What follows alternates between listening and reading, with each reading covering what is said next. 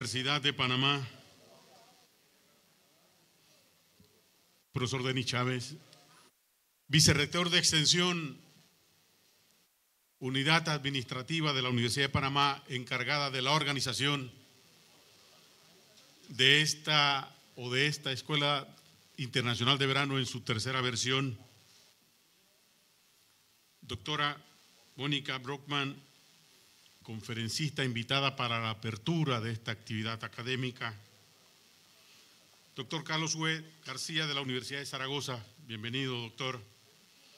Licenciada Susana Angélica Diego, Universidad Autónoma del Estado de Hidalgo, República de México. Magíster Desiree Mora de la Universidad Tecnológica de Costa Rica, bienvenida.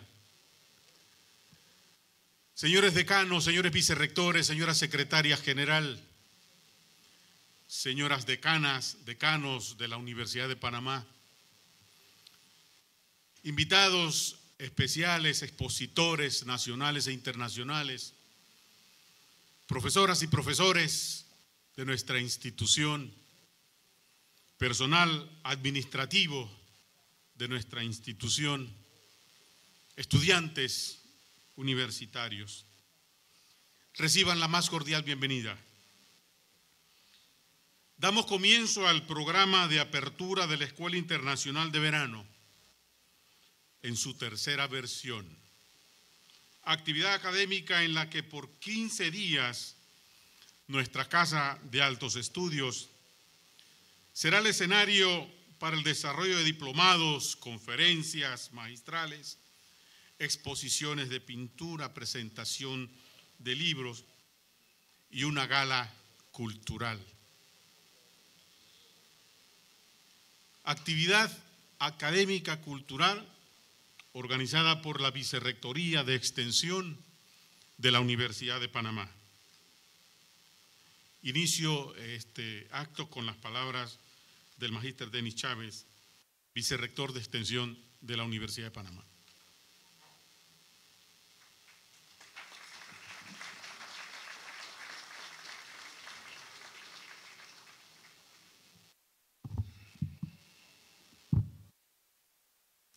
Muy buenas noches, estimado rector de la Universidad de Panamá, doctor Eduardo Flores Castro, estimada, estimada Mónica Bruckman, expositora invitada en esta inauguración. Gracias por aceptar la invitación a esta actividad.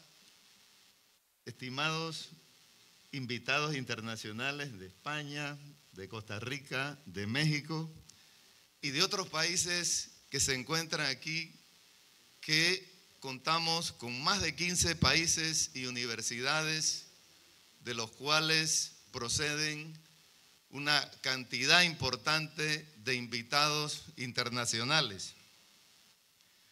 Estimados rectores de universidades hermanas que nos acompañan esta noche, representantes de rectores, estimados dignatarios, representantes del gobierno nacional que nos distinguen con su presencia, embajadores, personalidades presentes en este acto, profesores, administrativos y estudiantes, público en general.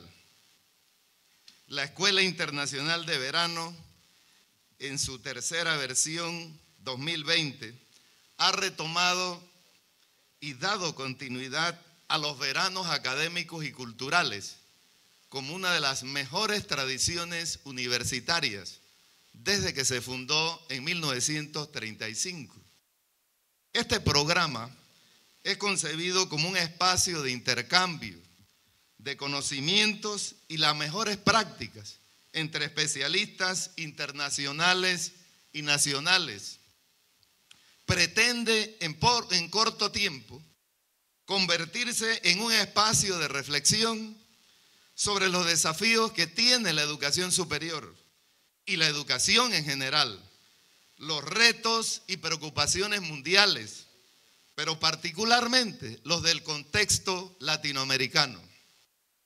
Con esta tercera versión podemos afirmar que estamos en un proceso de institucionalización, lo que se evidencia por la cantidad de unidades académicas que participan, por el número de seminarios y diplomados, por la participación numerosa en estas actividades de educación continua, por las prominentes conferencias magistrales internacionales con expositores y temas de alto nivel, por el vasto programa académico y cultural y, por su proyección nacional e internacional. En esta ocasión, durante dos semanas que se inicia hoy, 27 de enero hasta el 7 de febrero, estarán desarrollándose más diplomados y seminarios en las diferentes facultades, en los centros regionales, en las extensiones universitarias, en los institutos, en los observatorios, en las vicerrectorías y otras unidades de la universidad, con la nota distintiva de participar en cada uno de ellos, uno o más académicos internacionales Contamos con invitados, como les decía, de más de 15 países, universidades y centros académicos de primer nivel. De manera simultánea, nuestros campus universitarios y las sedes desde hoy se han convertido, porque se inició de esta mañana, en centros de debate y reflexión sobre temas de actualidad global y local, dada la diversidad y vigencia de los aspectos seleccionados para cada uno de esos diplomados y seminarios. Cada seminario, cada diplomado, de seguro que será un foro en el aula, los que culminarán con conclusiones, iniciativas y acciones a, a emprender en el futuro. Con este acto de inauguración comienza la primera conferencia magistral de un total de seis, cuidadosamente escogidas sobre temas trascendentes, mayormente vinculadas a los desafíos de la educación superior. El privilegio de presenciar de manera física y por, o por vía digital, porque serán transmitidas en vivo, debe conducir a deliberaciones y acciones en nuestras instituciones y en nuestra sociedad. El programa que hoy hemos iniciado contempla también importantes paneles de expertos, presentaciones de libros, exposiciones de arte, una pasarela de publicaciones pretendiendo de una manera eh, animada eh, proyectar las publicaciones importantes que se hacen en esta institución, proyecciones de cines y encuentro musical universitario.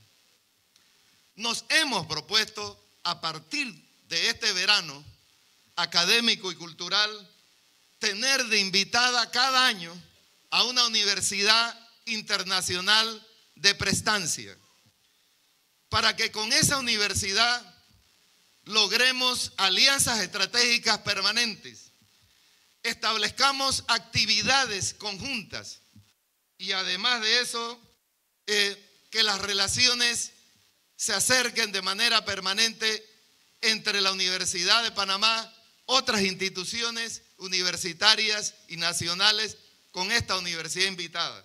En esta ocasión, todos sabemos, tenemos a la Universidad de Salamanca la Universidad de Salamanca porque acompañó a la fundación de nuestra universidad en 1935 y además porque es una de las universidades más antiguas de Europa y del mundo.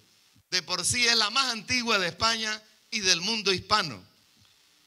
Sin duda, la presencia de la Universidad de Salamanca contribuye a darle relevancia a esta actividad de verano académico con ella realizaremos una serie de actividades que van desde diplomados, seminarios, hasta un honoris causa al rector actual de esta institución histórica y de prestigio. La Escuela Internacional de Verano ha sido diseñada como una convocatoria nacional y una convocatoria externa para realizar acciones conjuntas, de manera que anualmente Panamá pueda ofertar a nivel local y a nivel internacional los veranos académicos y culturales universitarios. Esperamos que esta convivencia de conocimientos que hoy se inició repercuta en las transformaciones de nuestras instituciones, sobre todo cuando las universidades deben reinventarse constantemente, dado la velocidad de los cambios tecnológicos y del conocimiento, pero también dadas las demandas del entorno social de nuestra sociedad y de nuestros países latinoamericanos. La Universidad de Panamá, como una de las universidades públicas panameñas, se congratula en posibilitar este espacio de diálogo académico en el cumplimiento de una de sus funciones sustantivas. Esto es la extensión como parte del proceso universitario, la que viabiliza la vinculación con la sociedad, la que proporciona pertinencia social a la universidad y la que garantiza el compromiso social universitario con el resto de la sociedad. Que esta Escuela Internacional de Verano 2020 sea de gran provecho para todos. Muchas gracias.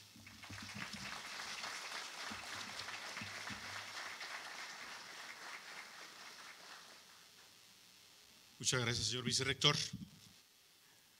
Las palabras inaugurales corresponderán a nuestro rector, el doctor Eduardo Flores Castro.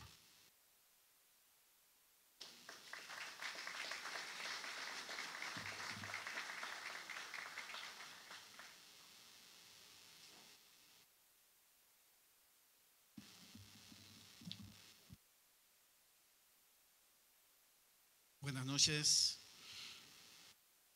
profesor Denis Chávez, vicerrector de extensión. Los catedrático de la Universidad de Zaragoza, profesora Susana de Diego, catedrática de la Universidad Autónoma del Estado de Hidalgo en México, profesora Desiree Mora, profesora de la Universidad Tecnológica de Costa Rica, invitada especial para inaugurar este evento, la doctora Mónica Bruckman, profesora de la Universidad Fulminense de Río de Janeiro. Gracias por aceptar nuestra invitación. Doctor Bosco Bernal, que nos acompaña, rector de la Universidad Udelas, profesores, representantes de rectores, tanto de universidades públicas como particulares, vicerrectores, decanos, decanas que nos acompañan, público en general, invitados nacionales e internacionales. La tercera versión de la Escuela Internacional de Verano 2020 integra una tradición universitaria de las más preciadas que tiene nuestra institución. Como ustedes saben, la Escuela Internacional de Verano fue una tradición en la década del 50 y la década del 60 de nuestra institución. Lastimosamente esa tradición se perdió. Durante 50 años desapareció la Escuela Internacional de Veranos y nosotros a partir del año 2018 recogimos esa tradición para impulsarla con nuevos bríos y nuevas visiones. Esta es la tercera, 2018 iniciamos, 2019, esta es la 2020. Yo diría 2020, tres puntitos. En matemática se dice que cuando usted tiene una serie y usted quiere decir que siguen muchísimos, hasta el infinito usted pone tres puntitos y no se pone más de tres ni dos ni cuatro, tres. ¿Y por qué se pone solamente tres? Porque se dice que una serie matemática con tres elementos de la serie, usted puede saber el que viene. O sea, si usted tiene una serie que dice 4, 9, 25, lo más probable, el siguiente es 36, porque se va elevando al cuadrado cada dígito. Así que con tres es puntitos suficiente para saber que se va al infinito. Bueno, esta es la tercera y le ponemos tres puntitos, porque esta escuela internacional permanecerá en esta institución hasta el infinito, hasta cuando Dios nos quiera tener como institución en este, en este país. A corto plazo deseamos institucionalizar esta actividad, pero queremos no solamente institucionalizarla a nivel nacional, nosotros queremos que en nuestra región, en Latinoamérica, se sepa siempre que en los primeros dos meses del año existe la Escuela Internacional de Verano en la Universidad de Panamá. No solamente para que los académicos vengan a darnos conferencias, seminarios, sino también para que los profesores, los estudiantes de la región asistan a nuestro país a poder beber del conocimiento de los grandes académicos del mundo que estamos trayendo en estas actividades. No solamente que quiero ir a Panamá para ver el canal, sino quiero ir a Panamá a la escuela internacional, porque ahí voy a absorber una cantidad de conocimiento que es muy difícil encontrar en manera concentrada en dos semanas tantos académicos de muy alto nivel como esta actividad lo, lo concentra. En esta ocasión nos distingue, como bien lo señaló el vicerrector de extensión, la Universidad de Salamanca. En 1935, cuando nacimos como institución, tres universidades fueron la madrina de la Universidad de Panamá. La Universidad de La Habana fue una de ellas, una universidad con mucho prestigio, la Universidad de San Marcos en Perú, la más antigua del continente, por lo menos de tierra firme, y la Universidad de Salamanca, la más antigua de España y la más antigua de América. Y por eso que a partir de esta escuela, conversando con el vicerrector de extensión, señalamos que por qué no escogíamos siempre una universidad de sumo prestigio para que fuera nuestra invitada especial. Y por eso que nos quisimos escoger precisamente una de las universidades que había sido nuestra madrina cuando nacimos hace 84 años. Pero ¿qué implica haber escogido a Salamanca, una universidad con 802 años de existencia. Implica en esta ocasión que vamos a firmar un convenio marco y un convenio específico de colaboración con esta institución. Vamos a tener diplomados y seminarios de académicos de la Universidad de Salamanca y también de otras universidades.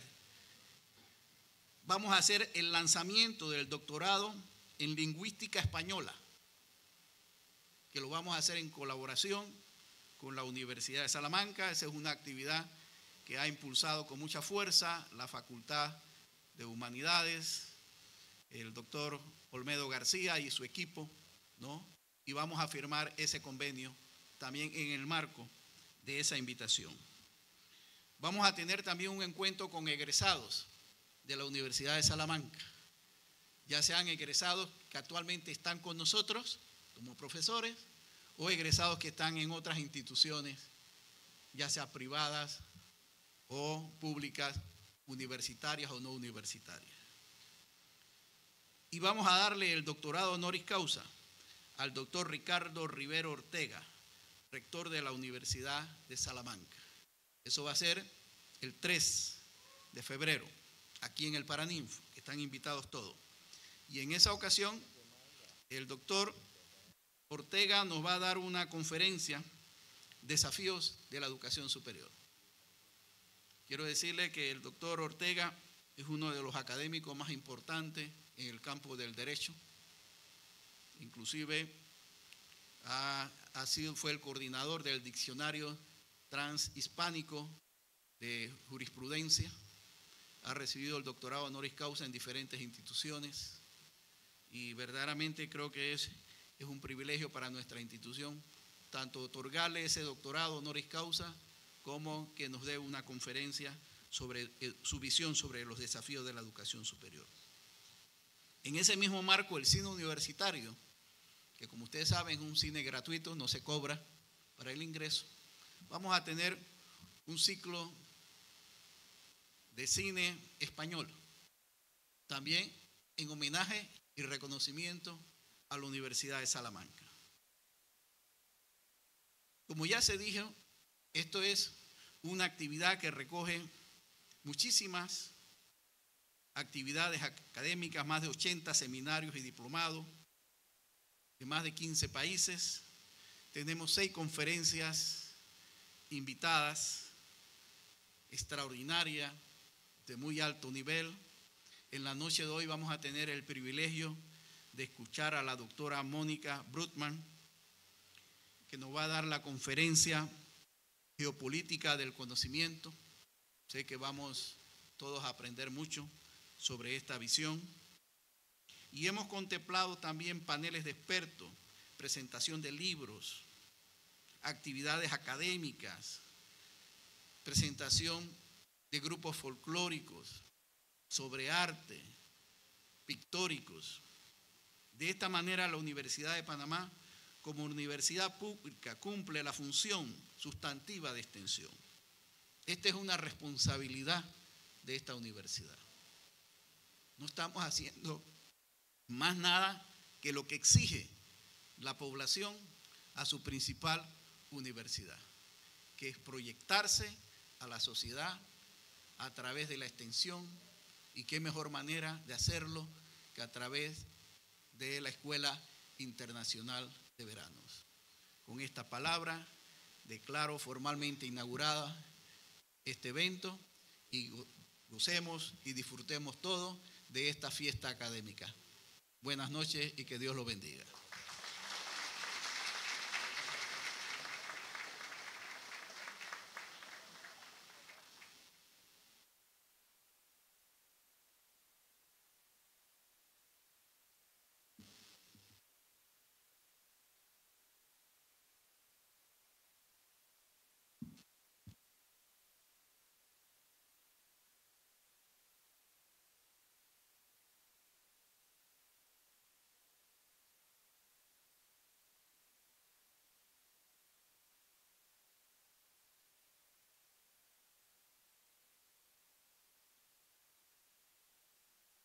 Nuestra conferencista de apertura de la Escuela Internacional de Verano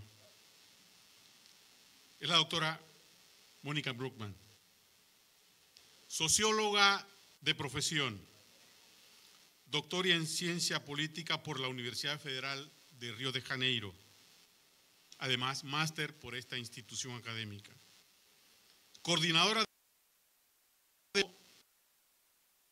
Integración Regional y Sistema Mundial del Consejo Latinoamericano de Ciencias Sociales, mejor conocido como CLACSO.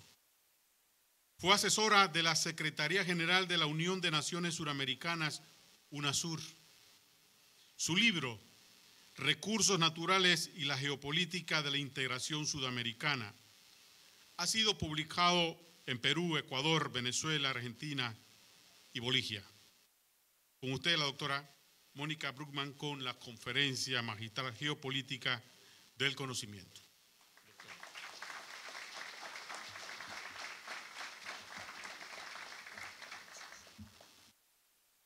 Eh, doctor Eduardo Flores Castro, rector de la Universidad de Panamá, profesor Denis Javier Chávez, vicerrector de extensión y coordinador general del comité organizador de esta escuela de verano 2020, demás autoridades de la Universidad de Panamá, de las demás universidades eh, de Panamá, de América Latina y de España, eh, colegas, profesores, investigadores de Panamá, alumnos, Buenas noches a todas y todos. Para mí es una gran alegría y una gran honra estar esta noche con ustedes compartiendo algunas reflexiones, algunas ideas que hacen parte de nuestras investigaciones a lo largo de los últimos años. Eh, además es una alegría ver una iniciativa tan importante como esta Escuela de Verano en su tercera versión y ojalá en versiones infinitas dando luz para la región, para América Latina, para Brasil, país de donde vengo, em, porque creo que una iniciativa de estas características, interdisciplinaria, con la vitalidad que el programa que me hicieron llegar y que se va a desarrollar a lo largo de los próximos 15 días muestran, constituye eh, una luz para la academia latinoamericana. Creo que las ciencias hoy en día no pueden ser pensadas de manera disciplinaria únicamente, sino que estamos avanzando a una construcción de conocimiento cada vez más interdisciplinario, cada vez más complejo, cada vez más apropiándose de los paradigmas de la complejidad. Y aquí me gustaría iniciar eh, citando a un físico estadounidense que a mediados del siglo pasado, exactamente en 1947, Warren Weber, escribe un texto que me parece interesante para pensar estos desafíos de la ciencia y del conocimiento en el siglo XXI. En un artículo llamado Ciencia y Complejidad, él va a hacer un balance del desarrollo científico hasta ese momento y va a decir, bueno, durante el siglo XIX hasta el final del siglo XIX, las ciencias en el mundo estuvieron muy marcadas por las llamadas ciencias eh, simples, ciencias de la simplicidad, ciencias que se caracterizaban por reducir eh, los diferentes fenómenos de la naturaleza y fenómenos sociales al menor número de variables posibles, ciencia influenciada profundamente por un pensamiento positivista, lineal, en la búsqueda de verdades universales y eternas, que produce una ruptura a comienzos del siglo XXI, cuando el pensamiento científico y el quehacer científico empieza a incorporar un número cada vez mayor, él diría casi infinito de variables, pero, y él va a llamar a esta fase del, de inicio del siglo XX hacia mediados del siglo XX, un infinito de variables las realidades en las ciencias naturales, en el cosmos, eh, pero todavía de manera desorganizada. Y él va a hablar de un tercer momento a partir de mediados del siglo XX hacia, eh, hacia adelante, y yo creo que marcan profundamente comienzo del siglo XXI, que son las ciencias de la complejidad organizada, donde además de este número infinito de variables, tenemos una capacidad de pensar la ciencia de manera sistémica y de ahí la necesidad de pensarla de manera interdisciplinaria, eh, a articular estas variables en los sistemas complejos que denotan, por ejemplo, eh, los diferentes fenómenos de la naturaleza, los diferentes fenómenos del cosmos y que todavía las ciencias sociales y las humanidades no han terminado de apropiarse de ellas. Hay un artículo muy interesante de la Comisión, Comisión Gubelkian, coordinado por Immanuel Wallenstein en los años 93 y 94 del siglo pasado, que van a pensar exactamente los desafíos de las ciencias sociales y del conocimiento de las ciencias sociales y las humanidades eh, como eh, marcados por la necesidad de romper esta camisa de fuerza que significó las ciencias de la simplicidad y que significan todavía hoy en día para eh, gran parte de las ciencias sociales pensar eh, a partir del pensamiento simple y no de la apropiación de la complejidad. Creo que este desafío va a marcar mucho la forma de producir conocimiento y los instrumentos que tenemos a disposición para producir conocimiento en el siglo XXI. Creo también que estamos viviendo momentos de profundos cambios no solamente geopolíticos, económicos, científicos, tecnológicos, financieros a nivel del sistema mundial, que es un poco de lo que voy a hablar esta noche, pero también en el propio paradigma teórico, metodológico y el paradigma epistemológico de las ciencias. Yo diría que hay tres grandes áreas de la producción científica contemporánea que están marcando mucho, no solamente la sociedad del siglo XXI, pero también la forma en que producimos, la forma en que consumimos, la forma en que la sociedad se organiza. De un lado, un conocimiento profundo de la vida, ejemplo de gran eh, eh, desarrollo no solamente el genoma humano, pero el genoma de otros seres vivos, inclusive la posibilidad de crear nuevas formas de vida. Ya desde el 2010, un grupo de científicos en Estados Unidos fue capaz de crear un nuevo tipo de bacteria en laboratorio. Un nuevo tipo o una nueva forma de vida que no existía en el planeta. Y ustedes me dirán, pero claro, una bacteria es una forma simple de vida. Sí, es una forma simple. Pero esto denota la transposición de un límite, el hombre siendo capaz de crear nuevas formas de vida. Y estas nuevas formas de vida en interacción con las formas naturales de vida que no, nos, no sabemos exactamente cuál va a ser el desarrollo de esta interacción. En el momento en que fueron creados este nuevo tipo de bacterias, por ejemplo, se pensaba que ellas iban a ayudar a la despolución de un eh, derramamiento de petróleo en el Golfo de México. Entonces, estamos en un momento de gran desarrollo de las ciencias de la vida. Pero estamos también en una dimensión de gran desarrollo del conocimiento del cosmos y del universo.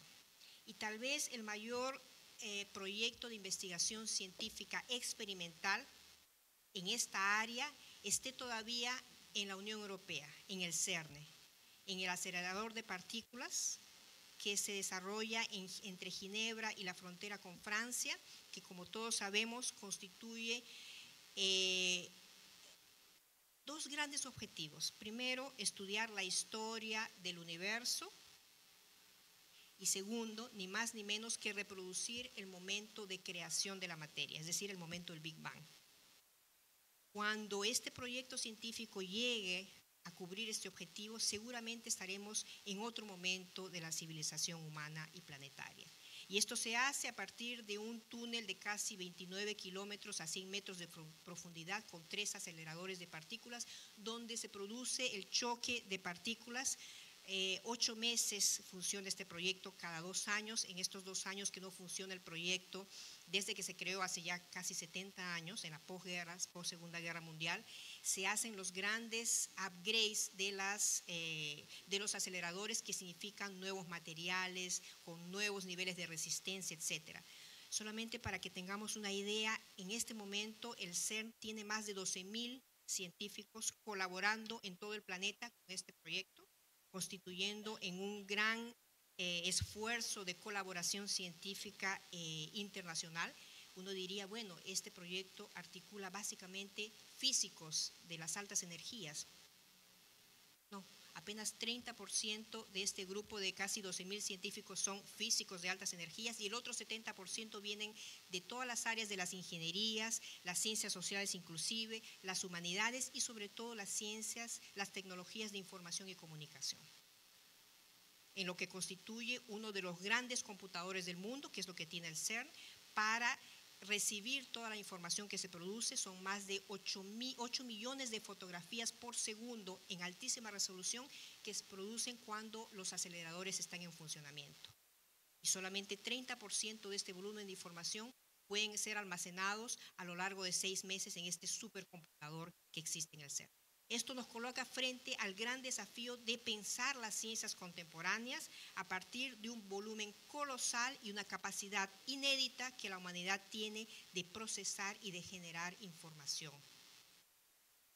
No en vano estamos hablando hoy en día de la revolución 4.0, donde los sistemas de comunicación, de información, se producen, se, organizan y se reorganizan de manera permanente es decir, exactamente lo que eh, Weber decía cuando hablaba de la complejidad organizada, donde se produce el caos, los fenómenos entrópicos y la reorganización de ese caos a partir de los fenómenos negentrópicos.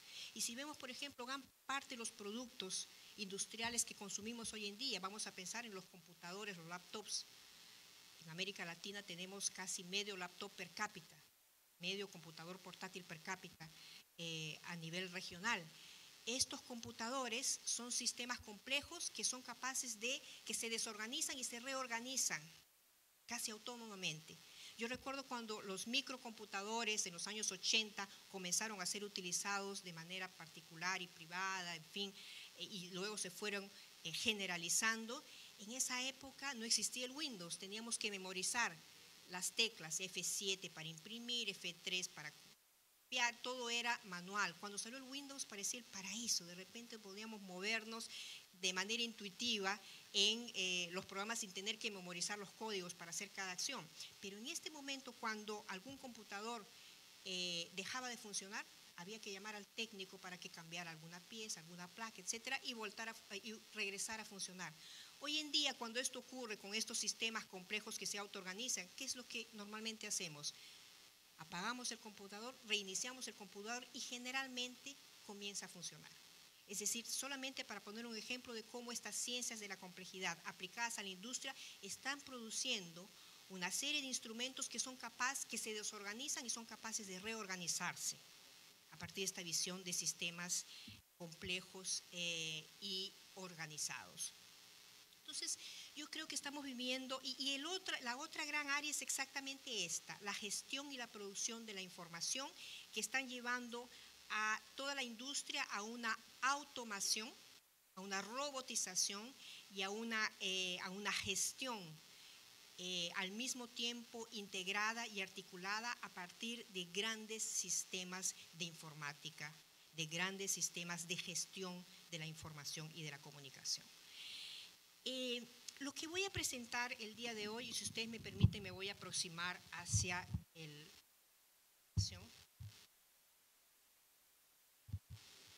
Eh, son algunos, sí.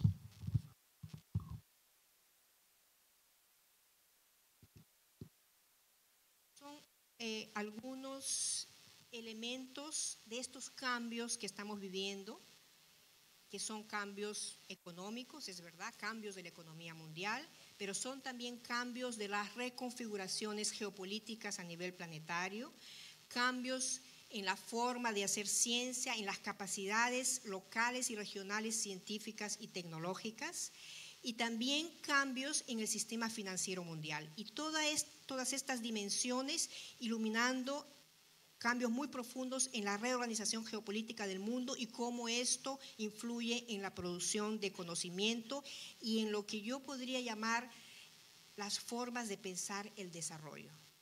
Creo que esta es, este es un tema muy recurrente, no solamente hoy en día, de digamos mitad del siglo XX hacia nuestros días y que se está reelaborando de manera muy profunda exactamente en los últimos años en que este impacto científico-tecnológico ha profundizado su condición de impactar también todas las dimensiones de la vida humana, de la vida académica, de la vida científica y de estos realineamientos geopolíticos. Y voy a empezar con un dato eh, ya bastante conocido de 2014, que tiene que ver con el ranking de las mayores economías del mundo. Nosotros hemos colocado aquí apenas las 10 mayores economías del mundo para mostrar cambios que ya se registran desde 2014, pero para mostrar sobre todo las proyecciones que algunas instituciones hacen para 2030 y 2050. Es decir, cómo es que esta economía mundial se va a proyectar hacia mitad del siglo XXI. Ven ustedes aquí, esta primera columna son los datos del ranking de las mayores economías del mundo medidas por su Producto Interno Bruto, no en dólar, en dólar absoluto, pero en dólar ajustado a su poder de compra local, el poder paritario de compra, que es generalmente el indicador que se usa para comparar diferentes economías. Y estos son los datos de 2014 del Fondo Monetario Internacional reafirmados por el Banco Mundial. Entonces, digamos que son datos oficiales que más o menos se manejan en la economía mundial, que muestran que ya desde el 2014 China pasa a ser la primera economía del mundo en términos del tamaño de su Producto Interno Bruto. Estados Unidos es desplazado a un segundo lugar India queda en un tercer lugar, seguido de Japón, Alemania, Rusia, Brasil, Francia, Indonesia y el Reino Unido. Miren ustedes, esto no es un cambio de poca envergadura. De las 10 mayores economías del mundo, 5 son los BRICS más Indonesia, es decir, lo que podríamos llamar el sur geopolítico o el sur político, porque no es exactamente un sur geográfico, son países del sur. Para el 2030, la PwC, que es una institución eh, inglesa, proyecta que en el 2030 China se mantiene en primer lugar, Estados Unidos se mantiene en segundo lugar, pero fíjense ustedes la diferencia. Estados Unidos representa apenas dos tercios del tamaño de la economía china. Y tal vez los cambios más profundos se produzcan en 2050, cuando India pasa al segundo lugar, después de China, y Estados Unidos es desplazado a un tercer lugar, seguido de Indonesia, Brasil, México, Japón, Rusia, Nigeria, por primera vez en la historia económica reciente, un país africano pasa a ser una de las diez mayores economías del mundo y Alemania. Entonces aquí estamos ya en un escenario donde de las diez mayores economías del mundo, siete son economías del sur y apenas quedan del norte tradicional del siglo XX, eh, Estados Unidos, Alemania y Japón. Estos cambios desde nuestro punto de vista, no son apenas, como decíamos, cambios muy profundos de la economía mundial, de la producción mundial, del consumo mundial, sino son cambios que se van a manifestar en diferentes dimensiones, que es lo que pretendo mostrar con el breve resumen que voy a hacer en breve. Miren ustedes las tasas de crecimiento. Estos son también datos del eh, Fondo Monetario Internacional. Estas son las proyecciones para el 2019 y 2020, que es la última publicación del eh, World Economic Outlook de agosto, de abril del 2009. Algunas de ellas han sido reajustadas hacia octubre del 2019, disculpe, 2019. Y vean ustedes la tendencia que me interesa dejar evidente aquí.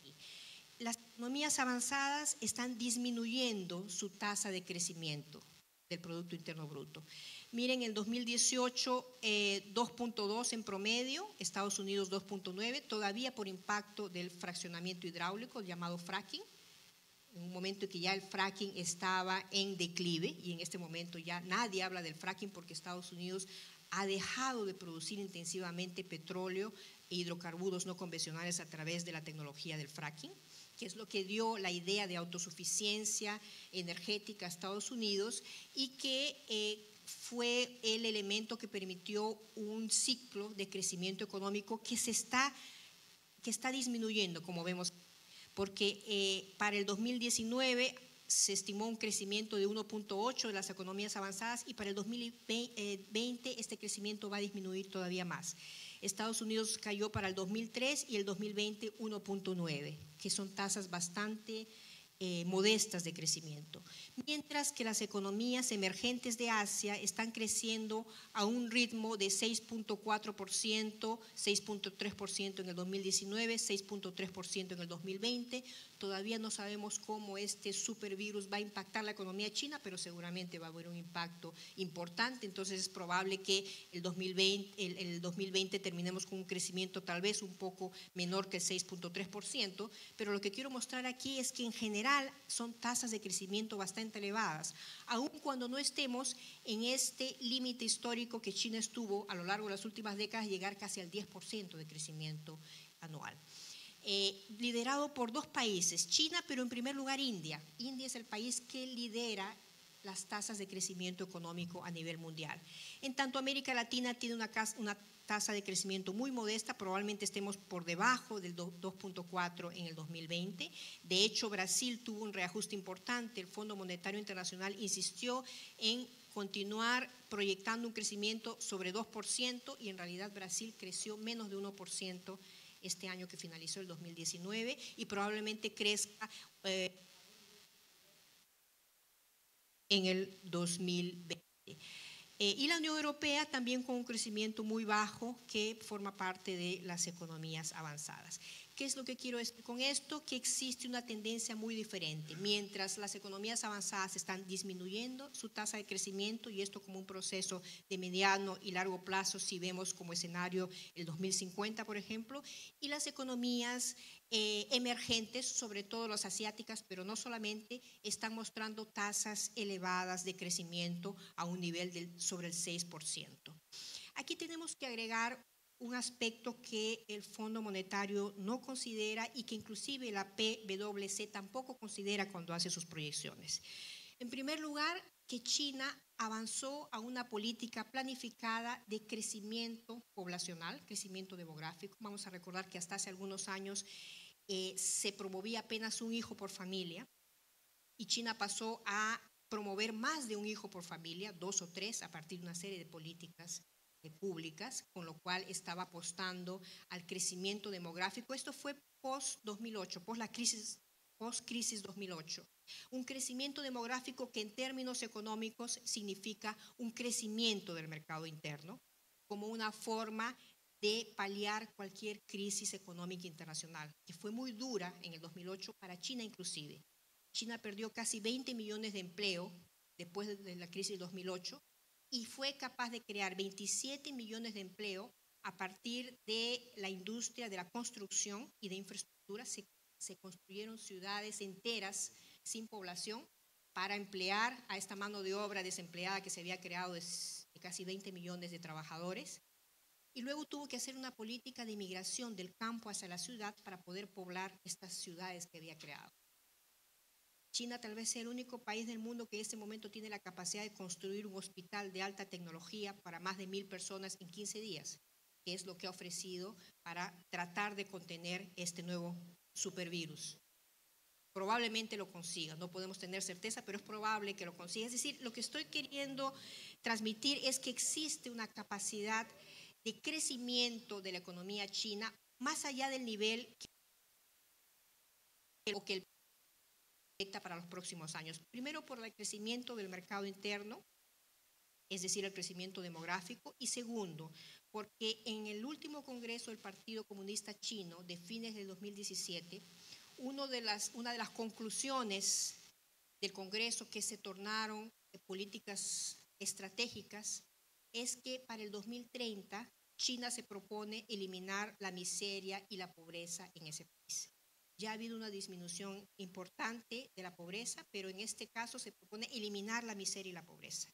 Esto va a significar que las personas abajo la línea de miseria y pobreza van a pasar a ser una especie de clase media, es decir, van a ampliar su capacidad de consumo. Y esto, junto con el lanzamiento del proyecto La Nueva Ruta de la Seda, al cual me voy a referir en breve, son los tres elementos que me llevan a pensar la siguiente hipótesis, que es muy probable que China eleve su tasa de crecimiento sobre este 6%, 7% que está proyectado para las próximas, las próximas dos décadas. Eh, si vemos esto desde el punto de vista de la formación de científicos en las ciencias exacto ingenierías. Miren, en el 2012 y a partir del 2012, un dato interesante, de las 6.4 millones de personas que se forman en ciencias exactas e ingenierías en el planeta como primera graduación, 23.4% se forman en China y 23% en India. Es decir, casi la mitad de los científicos y los ingenieros que se forman en el planeta lo hacen en dos países asiáticos, China e India.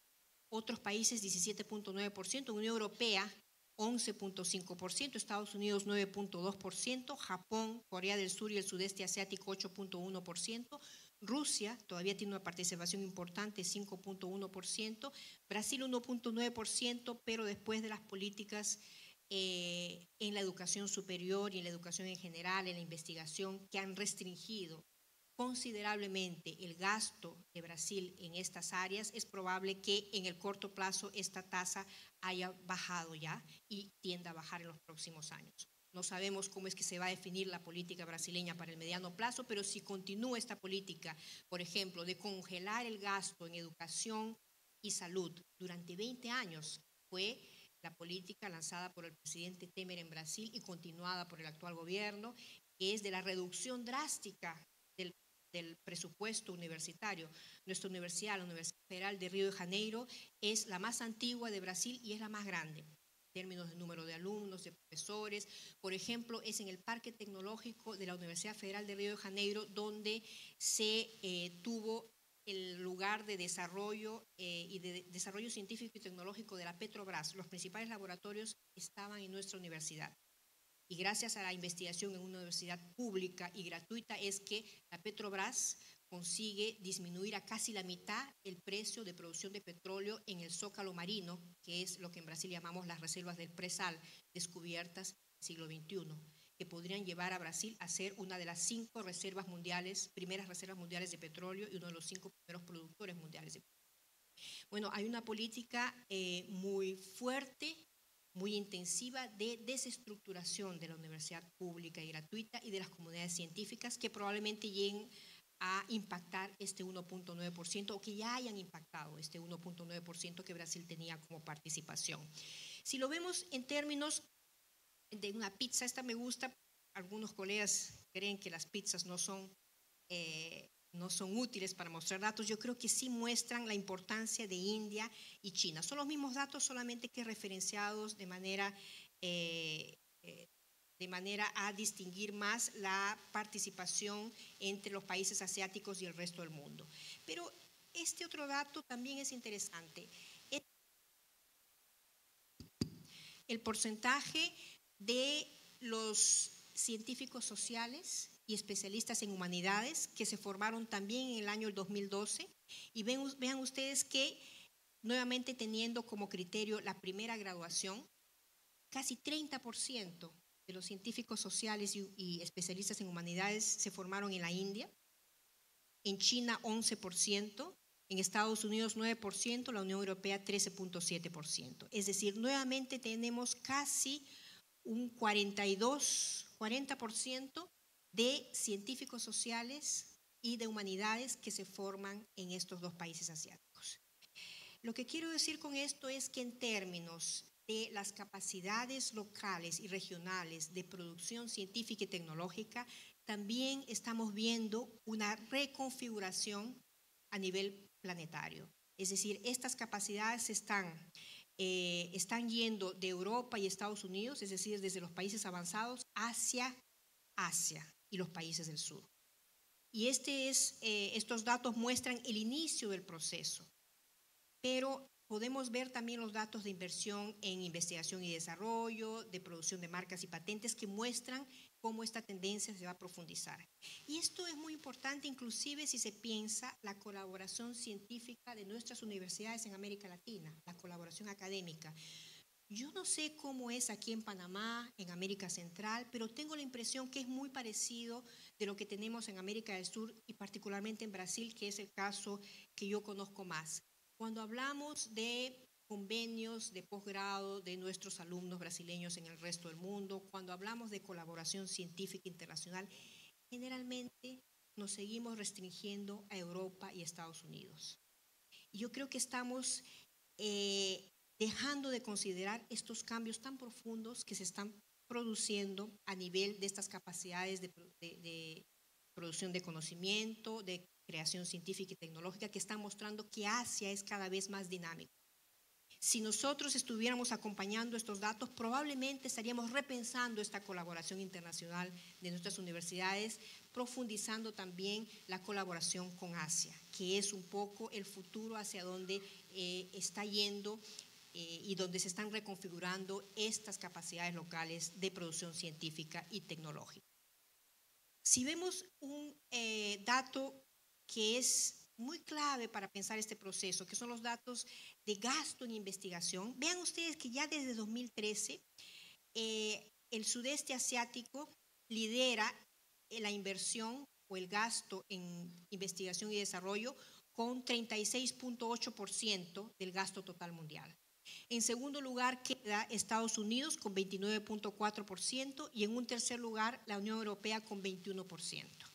Es decir, en términos del gasto eh, a nivel anual, vemos también que Asia se ha fortalecido y esta tendencia se ha profundizado hacia el 2019 y el 2020. Vamos a ver aquí unos datos un poquito más actualizados, pero yo quería mostrar la tendencia. Miren, esta es la participación en el gasto mundial en investigación y desarrollo por región en el 2009, 11, 13 y 15. Vean ustedes la tendencia.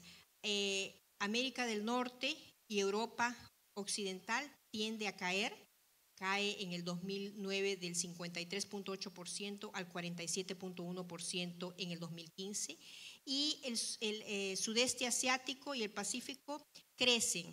La tendencia es creciente, es inversamente proporcional a la, la, inversión de los países del norte. Vean que sube de un 32% a un 39% casi de la inversión en eh, investigación y desarrollo a nivel global. Es decir, vemos aquí una tendencia clara nuevamente de una inversión entre los países tradicionalmente considerados como países desarrollados y los países emergentes, sobre todo los países asiáticos. El resto de las regiones, como Asia Central, se mantiene más o menos estable, eh, el sudeste y este de Asia también con niveles más bajos, América Latina con niveles muy bajos, semejantes a Asia Central, eh, África también un nivel un poquito inferior todavía, etcétera. Entonces vemos que aquí tenemos estas dos tendencias que me gustaría recuperar hacia el final de la presentación. Eh, aquí podemos visualizar mejor, vean ustedes, este es el, eh, el gasto en, esta, en este ámbito de investigación y desarrollo de China, vean ustedes cómo va creciendo del 2000 hacia el 2015, donde se aproxima y es similar al gasto de Estados Unidos, ¿eh? que tiene un comportamiento más o menos estable, crece un poquito aquí más en el 2007 hacia el 2015, en gran medida en el complejo industrial militar.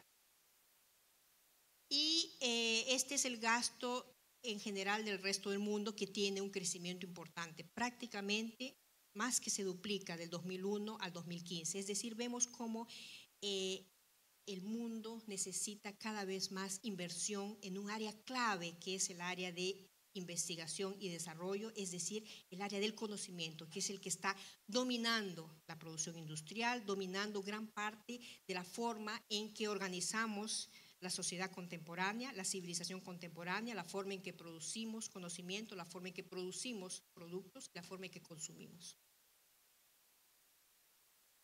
Un eh, indicador tradicional para medir este, eh, esta producción científica y tecnológica son las patentes. Yo he cogido aquí dos años, el 2004 y el 2014, para ver cómo ha variado en una década. Y vean ustedes que si en el 2004 la producción de marcas y patentes en Asia era el 49% a nivel mundial, Europa tenía un 20.5% y América del Norte un 25.1%. Diez años después, en el 2014, Asia ya tiene 60% de la producción de patentes a nivel mundial. Europa tiene una caída muy importante del 20.5 al 12.9% y Estados Unidos tiene una pequeña caída del 25.1 al 22.9%. Es decir, que si cogemos un indicador tradicional para medir producción científica y tecnológica, vemos cómo esta tendencia toma cuerpo y se manifiesta de manera muy clara. Si pensamos esto en términos de la producción industrial mundial, también esta tendencia se ratifica. Vean ustedes aquí, esta son, es la producción de transformación en el mundo hacia 2018.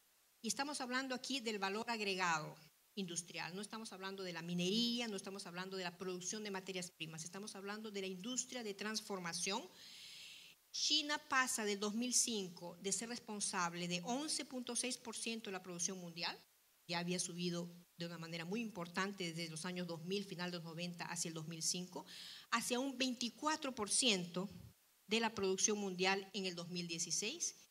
Y todos los países emergentes tienen una subida en la participación de la producción mundial. Vean ustedes, por ejemplo, eh, India sube del 2 al 2.7 y al 3.44%, etcétera, mientras que los países del norte registran una caída en su participación en la industria de transformación.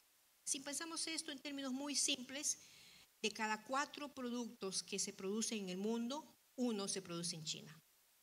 Y esto no es poca cosa. Esto tiene un conjunto de implicaciones a nivel comercial, a nivel económico, pero también a nivel ambiental. Porque es claro que esto genera en la propia China tensiones muy profundas. Miren, China, en mi opinión, es uno de los países del mundo con mayor problema ambiental.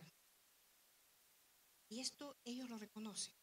En el 2012 murieron casi 800 mil personas en China eh, por enfermedades respiratorias, consecuencia directa de la contaminación ambiental, que es mismo tiempo consecuencia directa de esta lógica eh, de organización de la economía y de esta subida impresionante de su participación en la industria mundial. Eh, si uno va a una gran ciudad como Pekín, Shanghai, ya hace algunos años, es muy común que eh, además de revisar diariamente la previsión del tiempo, uno tenga que revisar la previsión de contaminación atmosférica a partir de la presencia de micropartículas sólidas en el medio ambiente. Y cuando se llega a cierto nivel, las autoridades respectivas recomiendan que la gente no salga a las calles. Y si sale, por extrema necesidad, lo haga con máscaras. Y por eso es que uno va a cualquier ciudad china y en cualquier kiosco la esquina encuentra estas máscaras de protección. Y si uno ve chinos alrededor del mundo también tienen la tendencia a usarlas. ¿Por qué? Por la dimensión de la contaminación ambiental. Porque en China todavía más del 50% de su matriz energética es basada en el carbón, que es el mineral fósil más poluyente que existe. Y al mismo tiempo China es el país en el mundo que más está invirtiendo en las energías limpias y renovables. Es una paradoja interesante, muy dialéctica es el país que más invierte. En este momento yo creo que China tiene la tecnología de punta en la energía fotovoltaica, la energía solar. No hay ningún país del mundo que invierta más en energía solar y que tenga la tecnología de punta como la tiene China en este momento. En las otras renovables tal vez haya una distribución de estas capacidades, pero en relación a la energía solar no. Incuestionablemente hoy en día es China. Es decir, China está avanzando a un proyecto de cambio de matriz energética para sustituir la energía producida a partir de carbón por energía limpia y renovable. Y desde que China empieza la producción masiva de placas fotovoltaicas, el precio internacional de las placas fotovoltaicas cae drásticamente. Los alemanes tenían esta tecnología y esta producción a fines de los años 90, comienzos de los años 2000, cuando China inicia su participación en este sector económico, asume el liderazgo y al mismo tiempo hay una caída muy importante del precio de los componentes de esta forma de captación energética. Esto me lleva a pensar una cuestión que yo creo que es muy central para pensarla desde América Latina, que es una región productora de materias primas, que es una región que eh, durante los últimos cinco siglos se insirió en el sistema económico mundial de manera dependiente y subordinada a las economías más desarrolladas como exportadora de materias primas. Yo creo que la relación con China, desde una perspectiva estratégica, presenta oportunidades nuevas. A China le interesa que las materias primas lleguen a ese país con mayor, agregado, con mayor valor agregado de lo que están llegando. Y voy a mostrar aquí unos datos eh, de cómo, al contrario de esa tendencia en que la región podría estar negociando las exportaciones de materias primas a agregación de valor local, a cadenas de valor regional, etcétera, condicionando esas exportaciones a la economía china, estamos, hemos reprimarizado nuestra canasta exportadora en los últimos 14, 15 años. En un momento en que podríamos estar haciendo exactamente lo contrario si es que tuviéramos políticas regionales y tuviéramos políticas nacionales que recolocaran la relación con el sistema mundial contemporáneo y particularmente con China en este contexto de profundas mudanzas que intento eh, resumir brevemente en esta presentación. Esto aquí un poco para terminar este panorama de con qué velocidad estos cambios se están produciendo, son los datos del gasto militar mundial en los 15 países que tienen mayor gasto en este ámbito. Vean ustedes cómo aquí había una reconfiguración importante. Estos son los datos del CIPRI, que es eh, la institución que normalmente se usa, la más seria, diría yo, en términos de gasto militar, eh, guerras en el mundo, etc. Vean ustedes que hasta el 2010, Estados Unidos representaba el 50% del gasto militar mundial. Y estos son los datos de 2007, donde vemos que había una caída del 50% para el 35% del gasto militar mundial, que es lo que representa Estados Unidos en este momento.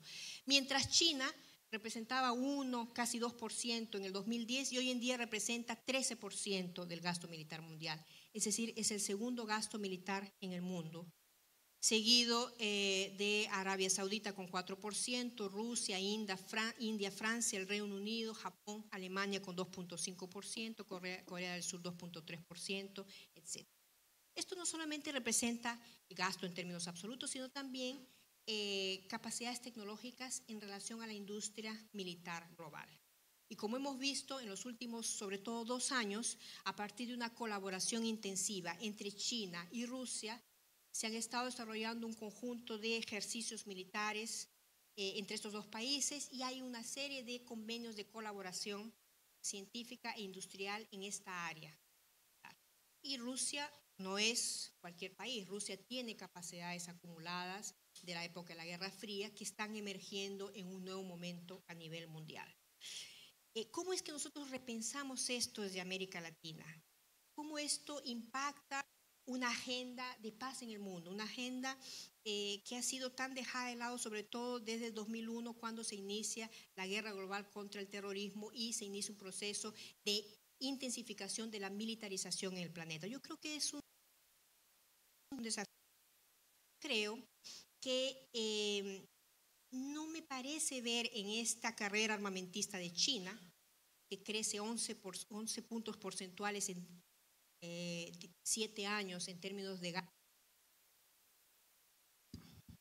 Eh, en esto, una intención de una guerra más en el mundo por parte de China. Puede ser que esté equivocada, pero cuando uno ve la historia del pensamiento chino en el largo plazo, y estoy pensando en alguien que, si uno le entras entre, líneas los discursos de Xi Jinping, las políticas que se van aprobando en la China contemporánea, ve la influencia de un pensador de hace dos mil años, como Sun Tzu, en el pensamiento político contemporáneo. Sun Tzu decía que las guerras realmente exitosas son las guerras que no ocurren, son las guerras que pueden vencer al enemigo en su estrategia, en su táctica primero.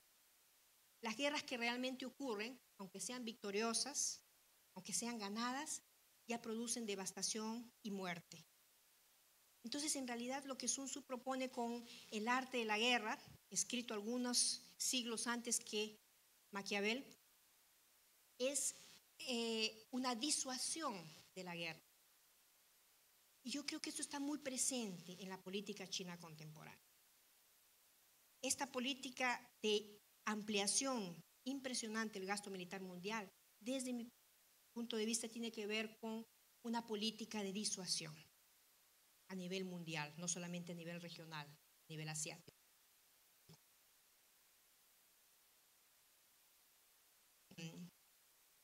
Un elemento de, gran debate en la región. ¿no? ¿Qué visión tenemos sobre China, sobre las posibilidades, amenazas que representa esta emergencia de China en el sistema mundial?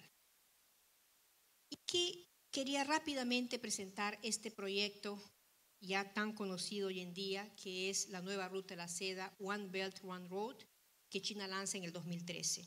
Y me gustaría hacerlo a partir de una, en realidad es una provocación que me voy a permitir hacer al auditorio en este momento al presentar este mapa.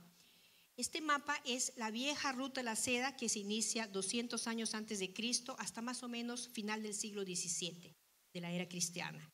Vean ustedes esta ruta de la seda que en términos continentales se origina en Pekín, en Beijing, en el norte de China, atraviesa toda la, eh, la Asia Central, el Medio Oriente, sube aquí y se distribuye a partir del Mediterráneo, que fue el gran espacio de distribución comercial a lo largo de este periodo. Y posteriormente la ruta oceánica, que se organiza desde el sur de China, contorna todo el sudeste asiático, la India, y nuevamente ingresa por el Medio Oriente hacia el Mediterráneo. Eh, este, esta vieja ruta de la seda, este vieja es mío, esta ruta de la seda en este periodo, tuvo su momento de mayor esplendor en la época de Gengis Khan, de la invasión de los mongoles al imperio chino, donde se intensifica el comercio entre Oriente y Occidente. Y aquí podemos ver tal vez cuán artificial es la división entre Oriente y Occidente. Esta Euroasia, que ya se integra desde hace 2200 años, esta Euroasia recupera una nueva dimensión con la nueva ruta de la seda. Y aquí me gustaría citar un autor que todavía es poco conocido en América Latina, a pesar de la importancia de su obra, que es André Gunder Frank, alemán que viene joven a América Latina, se contamina con el latinoamericanismo y prácticamente produce gran parte de su obra en América Latina. Eh, se adscribe a la teoría de la dependencia, estuvo en Brasil en los años 60, en pleno, eh, sale después del poquito antes del golpe militar del 64, sale a Chile, luego eh, en México y luego circula por América Latina y el mundo. Él escribe un libro muy interesante para comprender la profundidad de este proceso asiático y chino particularmente, que se llama Reorient. Todavía no ha sido traducido al portugués, ya ha sido recientemente traducido al español, reorientalizando el mundo. Y él muestra cómo China, desde el siglo IX, X de la era cristiana hasta final del siglo XVII, era el centro más dinámico de la economía mundial aquí, durante prácticamente siete siglos. El segundo círculo concéntrico, va a decir él, incluye India, en términos de dinamismo económico, India productora de textiles, textiles de algodón, la, China productora de lo más sofisticado que Occidente consumía durante estos siete siglos, la porcelana, la seda, eh, en fin. Eh, y el tercer círculo concéntrico incluiría Europa, es decir, la periferia del sistema mundial durante esos siete siglos era Europa. Y después de la llegada de eh, los europeos al continente americano, América se constituye en el cuarto círculo concéntrico, prácticamente abastecedora del oro y la plata del sistema mundial a partir del siglo XVI. Él va a decir, mira, era China durante estos siete siglos que iban a dar como si fuese un tubo, eh, un desagüe, todo el oro y la plata del sistema mundial a lo largo de estos siete siglos. Y si uno piensa cómo es posible que una economía campesina, que era China hasta hace unos 35 años atrás, se convierte en la primera economía del mundo en tan corto periodo de tiempo, probablemente las tesis de Gunder Frank nos ayuden, porque lo que estamos viendo en China es la reconstitución de un proceso político. China fue un imperio mundo, China fue el centro más dinámico de la economía mundial en este periodo todo, es una reconstitución de lo que fue una economía central durante casi siete siglos. Y tal vez esto explique la rapidez con los, de los cambios que se están dando en China, que llevan a este país a salir de una situación de economía campesina a la primera economía del mundo en poco más de 35 años. Probablemente lo que vemos detrás del proceso chino es menos un proceso económico y más un proceso civilizatorio de larga duración. Y un país que tiene plena conciencia de los aportes civilizatorios que dio la humanidad. Si uno ve los discursos simbólicos y oficiales desde la ceremonia de apertura de las Olimpiadas de 2008, en Beijing, ve cómo que simbólicamente se va construyendo la idea de una China moderna, una China que dio grandes contribuciones a la civilización humana, como el papel, eh, la, eh, la, prensa, la, la, navegación, los avances en la navegación a partir de la ruta oceánica, etc. Y sobre todo la capacidad política de organizar este proceso. Esta es la nueva ruta de la seda, lanzada en el 2013 y como miren ustedes la semejanza que tiene con el mapa anterior, que tiene nuevamente su centro aquí en el norte de China, en Pekín, y estamos hablando de dos grandes corredores de infraestructura, de carreteras, de tren bala, tren de alta velocidad, para transporte de mercancías, de personas, pero también estas líneas negras pespunteadas son eh, oleoductos, estas líneas verdes son gasoductos, van a atravesar toda la Asia Central y la estepa rusa, en este caso, eh, y vemos aquí la ruta oceánica, que es esta, esta línea más difusa, eh, azul oscura, que eh, va a seguir la orientación de la vieja ruta marítima de la seda, que va a contornar todo el sudeste asiático, la India, y en este caso, a diferencia de la vieja ruta de la seda, incluye África. Incluye África y pensando inclusive en la construcción de una vía transoceánica en la África subsahariana y 25 nuevos puertos entre el sudeste asiático y África. Es decir, aquí vemos cómo se reconstruye la vieja Euroasia en el mundo contemporáneo, en el siglo XXI. Y aquí vemos claramente cómo China no puede cumplir ese objetivo de One Belt, One Road, de los grandes corredores comerciales, de intercambio eh, diplomático, etcétera, sin una fuerte alianza con Rusia.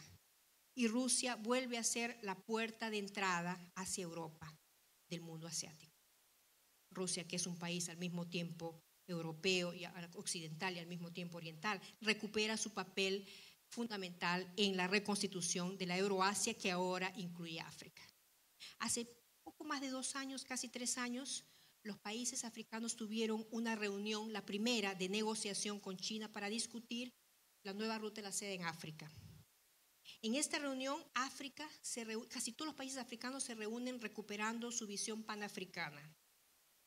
Se reúnen con China eh, y poniendo condicionamientos muy interesantes que seguramente individualmente cada país no habría conseguido.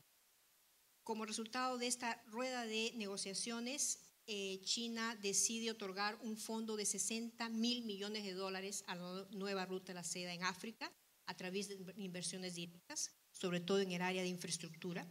Y miren ustedes qué interesante, África se compromete a pagar estas inversiones a largo plazo, de 20 a 40 años, con cero tasa de interés. Un tercio de esta deuda, estas inversiones chinas que generarían una deuda, serían lo que decimos en portugués a fondo perdido, es decir, no serían reembolsables. Un segundo tercio eh, se pagarían eh, eh, con interés cero a 20, 40 años de plazo.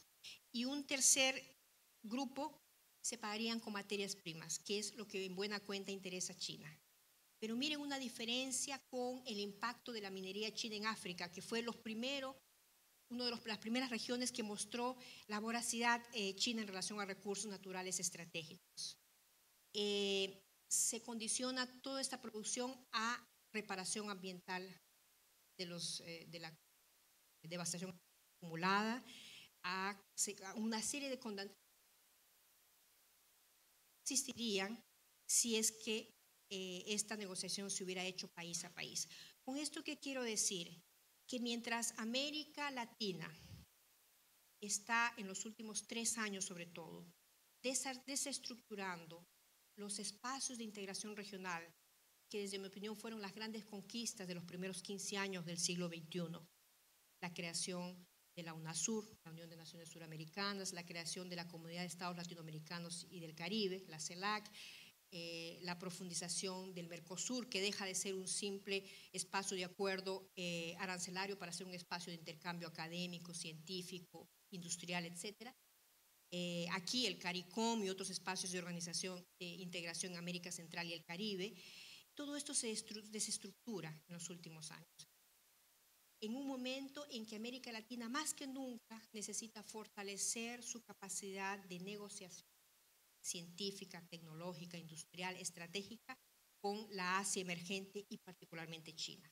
Y pongo el ejemplo africano solamente para poner un contraejemplo de lo que está ocurriendo en América Latina porque África al recuperar ese espíritu y esa visión panafricana está recuperando intensivamente también capacidades de negociación con un nuevo proceso hegemónico, multipolar, donde China juega un papel importante. Eh, simplemente para tener una idea de los espacios geopolíticos que se están construyendo en esta reemergencia del continente euroasiático. Aquí China vemos la ruta oceánica marcada por la parte azul de cada uno de los círculos, la parte eh, roja por la ruta continental, el Asia Central incluida, Rusia y Europa. Y al mismo tiempo el sudeste asiático, eh, Pacífico el área Pacífico Sur, eh, el Océano Índico África. Es decir, aquí vemos los centros y los espacios de disputa geopolítica y además los centros y los espacios de construcción de acuerdos diplomáticos. Yo creo que tenemos dos elementos a tener en cuenta en esta nueva ruta de la seda. Eh, una reconstrucción, una reconstitución de los intereses geopolíticos a nivel mundial y los espacios geopolíticos, y al mismo tiempo un esfuerzo gigantesco de coordinación, articulación y negociación. Porque estamos viendo aquí que en este momento son más de 100 países que forman parte de la nueva ruta de la seda, de este memorándum de entendimiento, que representa más o menos 75% de la población mundial, de los más diferentes regímenes políticos, de las más diferentes influencias religiosas y de las más diferentes composiciones étnicas entre estos países y lingüísticas. Y aún así vemos un proceso muy dinámico de, eh, de acuerdos de todo tipo. Aquí tenemos simple, una, una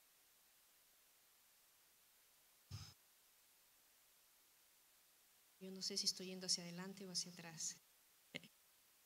Eh, rápidamente, eh, una, una, línea del tiempo. Este proyecto se lanza en septiembre del 2013 eh, como una idea a ponerse en práctica. En octubre del 2013 ya tenía un proyecto y el, banco, el fondo, el primer fondo que se destaca, la nueva ruta de la seda. En octubre del 2014 ya 21 países de Asia forman parte del memorándum de entendimiento.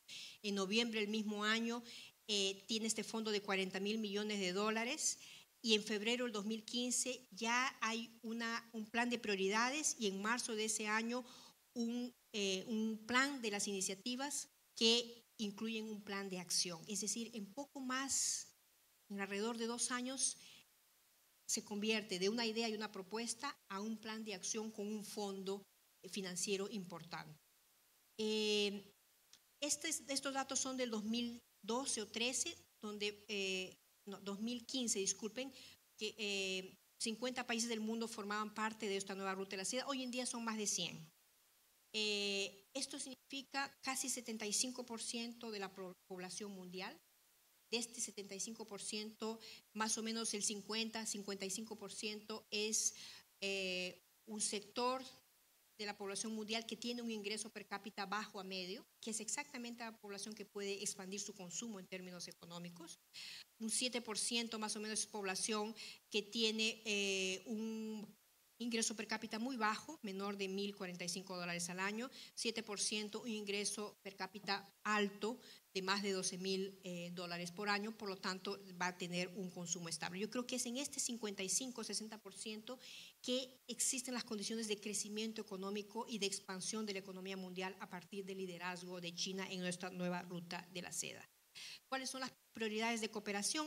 Políticas de coordinación, eh, infraestructura, fundamentalmente, infraestructura y construcción, inversión en cooperación de comercio, cooperación financiera y promoción de intercambio, inclusive el intercambio académico, científico y tecnológico que se menciona en todos los documentos de acuerdos que existen en la nueva ruta de la seda, inclusive con algunos países latinoamericanos que están participando en este tipo de negociaciones. ¿Cuáles son las, em, eh, las prioridades de inversión de esta nueva ruta de la seda, electrónicos, la industria aeronáutica, automovilística, maquinaria, ingeniería, comunicación, energía eléctrica y trenes bala.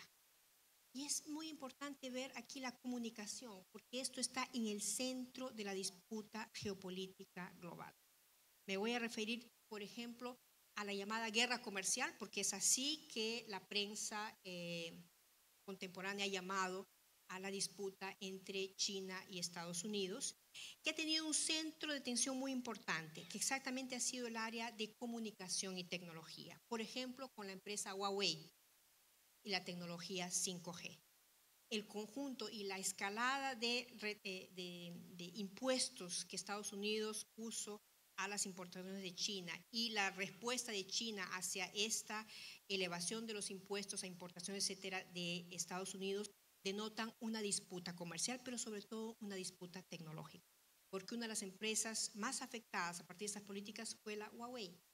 Y la Huawei o Huawei es la empresa, la mayor empresa de, de tecnología de comunicación y de telefonía china, y es la que tiene la tecnología 5G, que eleva en más de 10 veces la velocidad y el volumen de datos a ser transmitidos a partir de eh, Internet inalámbrica, a partir eh, que va a potencializar la Internet, que es un punto de partida fundamental para lo que es la revolución 4.0 y la tecnología de las cosas. Imagínense que inclusive estamos pensando en la organización de nuestro cotidiano a partir de la tecnología 5. Cuando se piensa en los carros autodirigidos, esto es solamente posible a partir de una tecnología de comunicación y de Internet más avanzada, que es de la 5G hacia adelante, que tengan mayor precisión. Cuando se piensa en los electrodomésticos inteligentes, es decir, uno va a controlar los electrodomésticos de la casa a partir de un dispositivo electrónico, un celular probablemente, entonces uno va a controlar la temperatura de la, de la refrigeradora y va a prender el horno a una hora indicada, y va, todo esto significa que tenemos una capacidad de comunicación altamente eh, exacta y además tenemos hacia un futuro inmediato la necesidad de sustituir estos electrodomésticos por electrodomésticos electrónicos que puedan responder a estos comandos. Yo me imagino esto, lo que esto puede significar en términos de la producción de una nueva dimensión de basura a nivel global cuando estos electrodomésticos sean retirados de circulación para sustituir por, la nueva tecnología, cosa que ya está ocurriendo en algunos países eh, y en algunas ciudades europeas, digamos, creo que es la región que está iniciando este proceso. Entonces, creo que estamos también en este sentido frente a grandes desafíos, pero quería citar este aspecto de la comunicación y de la tecnología 5G porque es muy neurálgico, muy central en lo que son las disputas geopolíticas en este cambiante sistema mundial. Aquí tenemos rápidamente, voy a citar dos elementos eh, importantes para la reconfiguración financiera a nivel global, que es el surgimiento del Banco de los BRICS y el relanzamiento del Banco eh, de Desarrollo Asiático. Eh, el Banco Asiático. El Banco de los BRICS surge con un capital inicial de 100 mil millones de dólares, capital directo, y un capital similar para inversiones directas, y está formado por los países de los BRICS, eh, Brasil, Rusia, China, eh, África del Sur e India. Fue fundado en 2014 en Fortaleza, Brasil, y su objetivo fundamental es el financiamiento de proyectos de infraestructura y desarrollo en los países de los BRICS y los países con ingreso, per cápita muy bajo. Esto son, es la composición de la contribución por país. Vean China con el 41% del capital total, Brasil, Rusia e India con 18% y África del Sur 5%. Eh, y el Banco Asiático de Desarrollo, que es un banco mucho más antiguo, creado en los años 60, un poco como consecuencia de la conferencia de Bandung de 1955, una expresión asiática de esto, formado por 31 países en ese momento y actualmente por 67 países, que también tiene como objetivo central desarrollar, eh, financiar el desarrollo. Eh, la lucha contra la pobreza, crecimiento económico, etcétera, e inversión exactamente ahí donde la banca privada le interesa invertir. Yo creo que este es un elemento central para pensar el desarrollo en América Latina. Hubo un momento en que se discutió mucho en la región, sobre todo en América del Sur, la nueva arquitectura financiera regional. Y se puso en el tapete de la discusión eh, el proyecto del Banco del Sur en América del Sur. Lamentablemente este proyecto, a pesar de más de 10 años y ser un proyecto mucho más antiguo que el Banco de los BRICS en términos de elaboración, de formulación, tuvo como su centro de articulación Ecuador, eh, nunca salió del papel. Nunca conseguimos eh, convertir al proyecto del Banco del Sur en un proyecto para financiar el desarrollo regional, aún en los momentos de gran auge de los espacios de integración regional como la propia UNASUR, la CELAC, ALBA o el Mercosur en. Y yo creo que este es un gran problema eh, que hay que repensar a futuro porque eh, si pensamos en la inversión en ciencia y tecnología, por ejemplo, en todos los países que han construido un nivel de hegemonía en el sistema mundial, esta inversión macizamente ha sido inversión pública, inversión del Estado. ¿Quién está invirtiendo en el acelerador de partículas? En Europa no son fondos privados, son fondos públicos de cada uno de los países de la Unión Europea. ¿Quién invirtió macizamente en lo que fue llamado el, el proyecto eh, Guerra de las Estrellas, ¿no? en el ámbito eh, militar? En Estados Unidos fueron fondos públicos. Es decir, los fondos públicos pensados como elementos fundamentales para financiar el desarrollo científico y tecnológico de la ciencia de base, que es exactamente eh, el área que no va a tener un retorno económico inmediato y que el sector privado no está interesado en ella. Primero porque los resultados son de muy largo plazo y son muy riesgosos. Entonces, estos son en general, han sido históricamente fondos públicos. Eh, y los la banca de desarrollo de alguna manera expresa eh, esta característica de los fondos públicos para financiamiento de desarrollo en los diferentes ámbitos, infraestructura, pero también la producción de eh, investigación, desarrollo, la producción científica. ¿Cómo es que esto va a impactar a América Latina? Estamos hablando de los cambios del sistema mundial, de la nueva ruta de la seda, pero ¿qué tiene esto que ver con el futuro inmediato de América Latina? Imaginemos esta nueva ruta de la seda en pleno desarrollo y apogeo, de aquí a unos pocos años, incorporando 75% de la población mundial a un sistema, a un nuevo sistema comercial en la Euroasia, África, incluido América Latina también, porque cuando uno piensa de dónde va a salir los minerales estratégicos, las materias primas fundamentales para alimentar este proyecto con la envergadura que este proyecto se propone y tiene, seguramente la respuesta va a ser que gran parte de estos recursos naturales estratégicos, minerales metálicos, fuentes de energía primaria, fuentes de energía renovables, etcétera, provendrán vendrán de América Latina, de América del Sur. Eh, y aquí yo quería hacer una, rápidamente introducir el tema de los recursos naturales estratégicos, que no son recursos estratégicos por definición, que van cambiando con cada ciclo tecnológico. Vamos a pensar, por ejemplo, la importancia que tenía el carbón como fuente de energía primaria en el siglo XVIII, en el siglo XIX. Es fundamental. Hoy en día no lo es. A comienzos del siglo XX el petróleo asume el papel estratégico del carbón y hoy en día son las fuentes de energía renovables que cada mes están adquiriendo más importancia en las políticas y las estrategias de las regiones y de los países.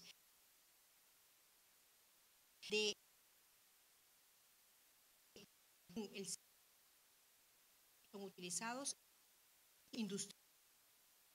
eh, utilizados.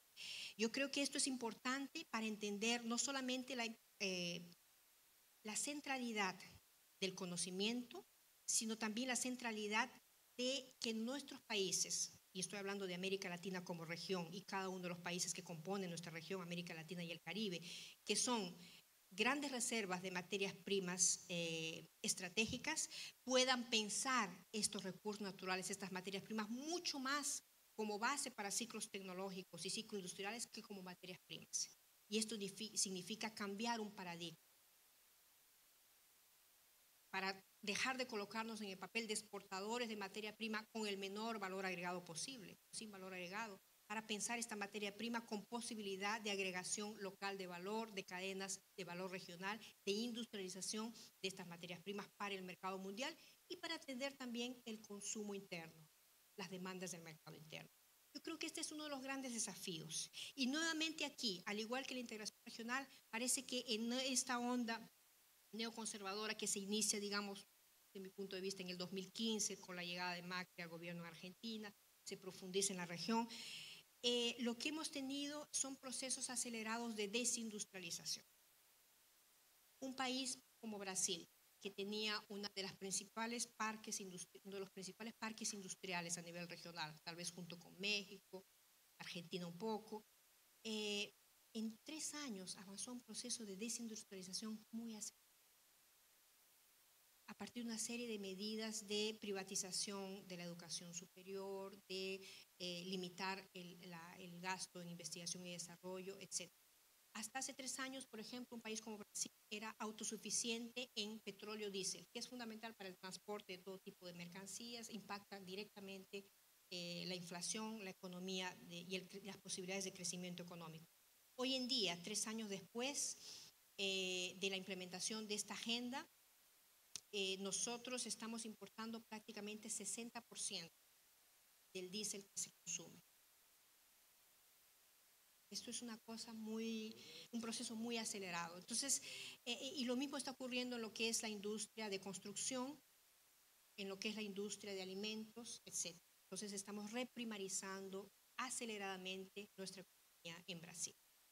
Eh, esto aquí muestra las rutas comerciales que creemos que se van a intensificar eh, a partir de la expansión de la nueva ruta de la seda, la, ruta entre Europa y Asia a partir de América Latina. Y aquí dos espacios estratégicos fundamentales, el canal de Panamá y el canal de Nicaragua, que es un proyecto paralizado por el momento, pero que en cualquier circunstancia en un futuro próximo creo que se va a retomar. Vean ustedes lo que el trayecto que tiene que recorrer un barco de alto calaje para transportar materias primas, petróleo, qué sé yo, de la costa este a la costa oeste de Estados Unidos, que no pasan por el canal de Panamá, porque a pesar de la ampliación que el canal de Panamá ha sufrido en los últimos años, todavía no permite la, el, el pase de barcos de alto calaje. Tienen que bajar hasta el estrecho de Magallanes para subir. Este es el trayecto a partir del canal de Panamá y el trayecto que sería de barcos de alto calaje a partir del canal de Nicaragua. Eh, yo creo que en este proceso nuevamente América Central se convierte en una zona geopolítica de gran importancia para el comercio mundial ya no apenas para Estados Unidos, pero toda esta reconfiguración del sistema mundial y de economía mundial. Algunos datos que ustedes deben conocer mejor que yo sobre el canal de Panamá eh, y de Nicaragua. El canal de Nicaragua, a pesar de ser más largo y la travesía más larga, como se trata de unir grandes lagos, va a permitir barcos por lo menos del doble de calaje, que son los barcos que pueden pasar por el canal de Panamá en este momento.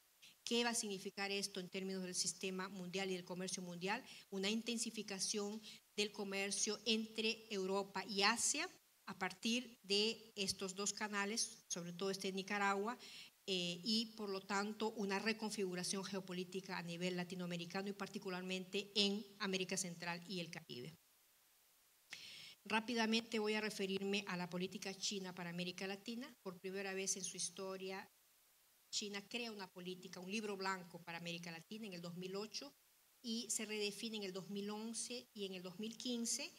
Eh, y en este documento, miren qué interesante, para recuperar esta idea de qué significa China en términos de la disputa por recursos naturales, por la producción científica tecnológica a nivel mundial. En este documento, que es un documento que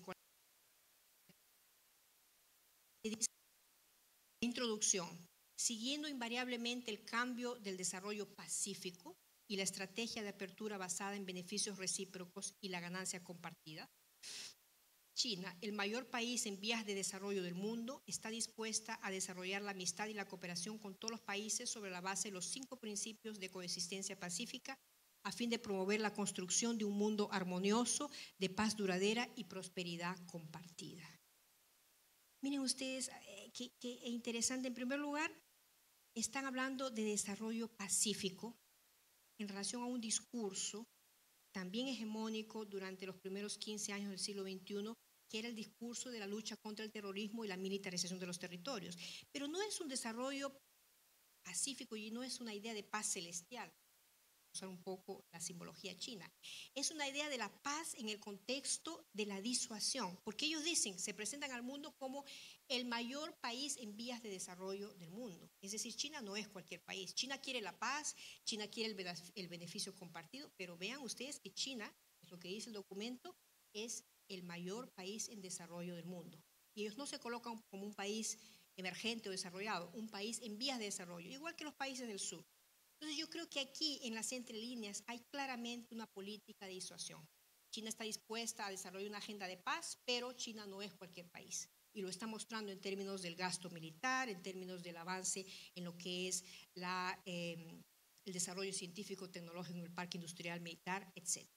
Sin embargo, estos cinco principios de coexistencia pacífico eh, de coexistencia pacífica, que son cinco de los diez principios que se consagran en la conferencia de Bandung de 1955, que es lo que da origen al movimiento de países no alineados, que es lo que da origen al llamado tercer mundo, que era exactamente una agenda que pretendía colocarse fuera de la Guerra Fría, fuera la dicotomía Unión Soviética-Estados Unidos para pensar nuevas relaciones de solidaridad, de colaboración, de respeto a la soberanía entre los países del sur, sobre todo asiáticos, africanos, América Latina entró tardíamente con la tricontinental, 10 años después, a esta discusión.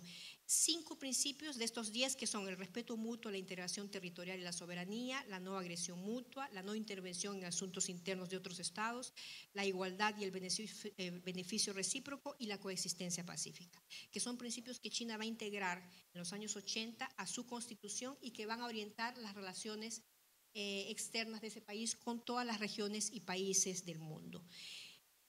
Es decir, en un momento en que esto podría significar una nueva agenda para la región, esto es lo que está ocurriendo en términos de las relaciones comerciales de América Latina con China. Miren, a partir de 2008, según la, Comisión Económica para América Latina, la CEPAL, China se convierte en el primer socio comercial de prácticamente todos los países de América Latina y el Caribe el primer, segundo país de origen de importaciones y el primer, segundo, tercer país de destino de exportaciones de la región. Si en el, en el 95 esta barra azul, que son productos primarios, 38, 37% del total de las exportaciones de la región eran materias primas sin valor agregado, en el 2008 casi 70% son materias primas sin valor agregado. Mientras que eh, la, exportación de manufacturas basadas en recursos naturales sufre una, eh, disminución importante de casi a la mitad del, del 95 al 2008. Es decir, en un momento en que podríamos estar haciendo exactamente lo contrario, agregando valor a nuestras exportaciones hacia China, condicionando transferencia tecnológica, etcétera, colaboración científica e internacional, colaboración científica y tecnológica, estamos reprimarizando las exportaciones hacia China pregunto ahí, bueno, ¿a quién cabe el papel de mejores condiciones de negociación? ¿Cabe a China otorgarlas o a la región reivindicarlas? Yo creo que esta es una discusión importante. Eh, aquí vemos cómo se incrementan casi en una línea eh, de más de 45 grados las eh, exportaciones de América Latina hacia China. Miren aquí en los años 2000 en comparación al 2013, que es el momento de de, que esta estrategia y esta, este comportamiento se presenta de manera más expresiva. gran parte de esas exportaciones, como hemos visto, son materias primas sin valor agregado. Esta es la, la estructura eh, de las exportaciones al mundo, de América Latina y el Caribe, y hacia China, según, según intensidad tecnológica, para el 2013, según la CEPAL. Vean ustedes que eh, 75% 70% más o menos de lo que se exporta hacia China son productos primarios, de lo que se exporta hacia el mundo 40%, 42% son productos primarios. Eh, y estas son las importaciones desde China. Básicamente son manufacturas de alta tecnología, vean ustedes aquí. Y desde el mundo también una participación importante de altas tecnologías. Esto no tiene otro nombre, reprimarización de la canasta exportadora y contenido tecnológico medio y alto de las importaciones. Y en estos últimos años a esta reprimarización podemos añadirle la desindustrialización que profundiza todavía más este proceso de dependencia tecnológica, científica, eh, no solamente en las formas de producción de conocimiento en general, pero también en la eh, investigación y desarrollo. ¿Cuáles son los principales sectores receptores del financiamiento chino en América Latina? Del 2005 al 2016, y estos son datos todavía no publicados. Eh, miren que básicamente infraestructuras. 52% de las inversiones son en el área de infraestructura y 31% en el área de energías. Yo creo que esto se ve muy claramente en el comportamiento de las inversiones chinas en cada uno de nuestros países. En Brasil, por ejemplo, y en América del Sur, la idea de financiar la, em, la, carretera transoceánica que va a unir el Pacífico con el Atlántico, va a pasar por Brasil, eh, estaba proyectado para pasar por Bolivia y el sur de Perú, eh, significa una inversión maciza, que es inversión china. Pero además, cuando el gobierno brasileño en este momento habla de privatizar las hidroeléctricas, el primer postor para que se ofrece a comprar estas hidroeléctricas son las, los capitales chinos.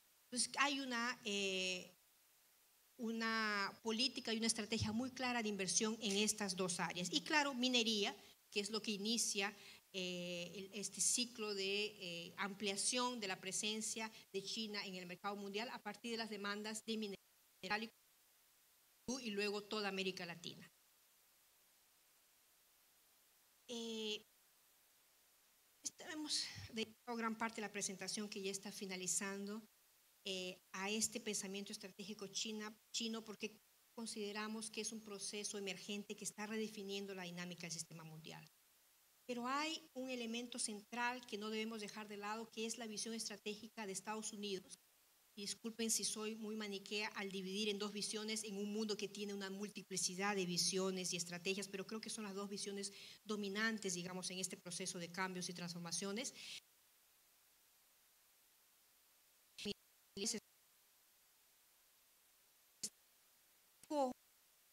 Desarrollo científico y tecnológico. 2007-2017, con sus cinco ejes estratégicos que marcaron no solamente la visión estratégica de Estados Unidos hacia el resto del mundo, sino también en términos de acuerdos comerciales, acuerdos económicos, científicos, tecnológicos y diplomáticos. Estos seis ejes se resumen en, uno, entender los ecosistemas y prever sus cambios para asegurar el futuro económico y ambiental de la nación. Esto parece ser un punto básicamente medioambiental y sin embargo tiene que ver con la producción científica en una de las tres áreas de gran avance que la humanidad ha experimentado en los últimos años, que es el mayor conocimiento, como decíamos, de la vida en el planeta, las ciencias de la vida. Y eh, nuestra región es muy importante para esta área de desarrollo, esta área estratégica, porque según el convenio de diversidad biológica, de los 10 países más megadiversos del mundo, siete son latinoamericanos y cinco son suramericanos. Es decir, nosotros tenemos la gran concentración de biodiversidad del planeta en nuestro continente. Y es exactamente la posibilidad de tener acceso a estos espacios de gran concentración de biodiversidad de recursos hídricos lo que va a permitir tener la materia prima para este tipo de desarrollos científicos. Sin acceso a áreas de gran concentración de biodiversidad no podrían haberse desarrollado de manera tan profunda como se desarrollaron las ciencias de la vida a nivel planetario. En segundo lugar, eh, verificar la variabilidad del cambio del clima, etcétera. Tercer lugar, un tema que nos interesa, energías y minerales para el futuro de América, es decir, Estados Unidos, proporcionando una base científica para la seguridad de los recursos, la salud del medio ambiente, la vitalidad de la economía y el manejo de la tierra. Y aquí esto es muy claro. Si vemos, a ver, nosotros venimos ya hace casi 10 años investigando eh, la disputa global por recursos naturales estratégicos y particularmente el sector de minería. La institución que tiene datos más actualizados y más amplios sobre los recursos minerales fósiles y no fósiles en el mundo es el Servicio Geológico de Estados Unidos. No existe una institución con mayor capacidad de producción de información a nivel global y mayor actualización de los datos que esa institución. En algún momento la Unión de Naciones Suramericanas se propuso crear un servicio geológico de América del Sur para reunir la información de los países de América del Sur y devolverlas a los gestores públicos, a los gobiernos, a las empresas, a la academia, para servir como instrumento de planificación regional. Esto fue imposible, no se consiguió el Servicio Geológico de Estados Unidos continúa siendo la institución del mundo que tiene eh, los datos más amplios y más actualizados en este ámbito. Y yo creo que esto tiene que ver muy claramente con una idea de soberanía. No es suficiente tener planes y proyectos de desarrollo soberanos. Es fundamental tener los instrumentos para desarrollarlos. Si no, la soberanía no deja de ser un discurso nada más y los servicios geológicos parecen ser espacios muy técnicos de producción de información y en realidad son espacios fundamentales para construcción de desarrollo e inclusive de procesos hegemónicos. No sé si ustedes saben, pero el primer servicio geológico que surge en el mundo fue creado en Inglaterra, exactamente en el momento que Inglaterra necesitaba reservas de carbón, ampliar sus reservas de carbón y su producción de carbón para las revoluciones industriales. y la maquinización de la industria. Desde el comienzo del siglo XX. Son realmente eh, eh, instituciones estratégicas de producción de información y conocimiento. Eh, y es un gran desafío para pensar el desarrollo en nuestra región, teniendo en cuenta que nuestra región es una gran productora y una gran reserva de minerales y de recursos naturales estratégicos. Eh, y yo me voy a saltar hasta este último punto, que es elaborar un censo de agua en los Estados Unidos para cuantificar y prever, asegurar el agua dulce y el futuro de Estados Unidos, de América, como dicen ellos. Creo que esto es importante porque eh, el agua, y estamos viendo aquí las consecuencias del cambio climático en el sentido de profundizar la desertificación en regiones desérticas, profundizar las inundaciones en, en regiones que son altamente húmedas y además profundizar el estrés hídrico de los países del mundo, sobre todo los grandes productores industriales. Los dos países que tienen mayor extracción de recursos, eh, de recursos hídricos subterráneos son exactamente Estados Unidos, vean ustedes aquí en este mapa, Estados Unidos y India, seguido de China, países de Oriente Medio y México. Son, eh, y Estados Unidos vive un proceso de estrés hídrico ya hace algún tiempo, ahora México también, eh, y India, por supuesto, es un problema histórico, y ahora China.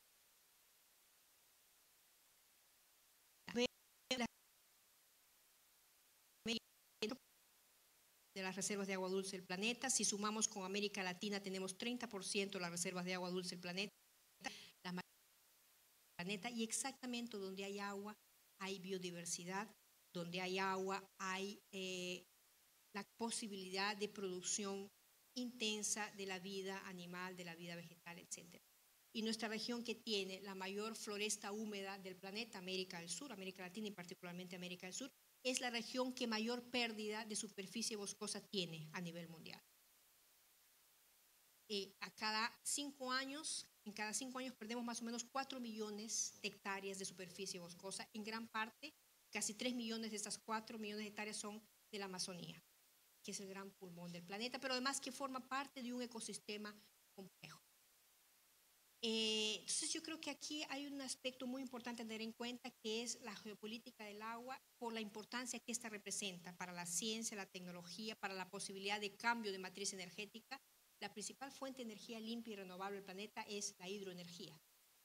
Supera en gran medida la energía solar, la energía eh, geotérmica, la energía eólica, etc. Es la hidroenergía. Un país como Brasil tiene el 60% de su producción energética a partir de hidroenergía y el 80% en total de energías renovables, solo para poner un ejemplo. Y la media mundial de producción de energía eh, renovable a partir de fuentes renovables y limpias es más o menos 14-15%. La Unión Europea, por ejemplo, ha em, establecido un plan estratégico a partir del cual, a partir del 2030, ellos se proponen duplicar la producción de energía a partir de fuentes renovables y limpias.